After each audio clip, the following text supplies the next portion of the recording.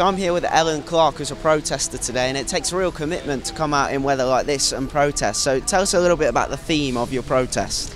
Um, so a few of us have come down here today dressed as air cabin crew. Um, we've got these um, oxygen masks um, that are going to drop down from the bus stop. And we're going to hand them out with some leaflets to the public. Um, the aim is just to sort of attract some attention and try and draw attention um, to the fact that Leeds has got really dangerous levels of air pollution currently. And why do you think that air pollution in Leeds is such an important issue that, that is worthy of protesting about? Well, it's an important issue everywhere.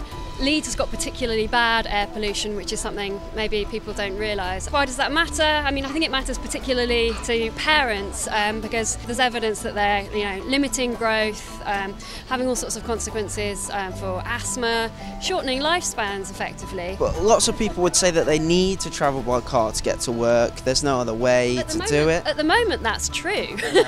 at the moment, as I say, you have to be a bit mad to cycle to work, for example. Um, more needs to be done uh, to make it possible to choose not to use a car every day. I think that's probably the main problem. Um, you know, public transport's awful. Um, I cycle to work every day, but frankly, it feels like taking my life into my hands, you know. And it shouldn't be like that. It shouldn't be so difficult, you know. Shouldn't, you shouldn't have to be a bit crazy to make a choice that isn't making the problem worse for everyone else.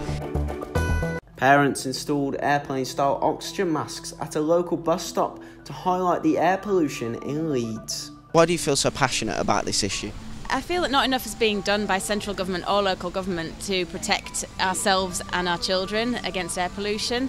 The levels are dangerously high, and I think a lot of people don't realise that. There has been a clean air zone proposed and talked about for a number of years in Leeds, and I think that that should be implemented without further delay. I also think that people across the nation should be incentivised to abandon their heavily polluting vehicles, the larger vehicles, the older diesel vehicles that really contribute a lot to air pollution.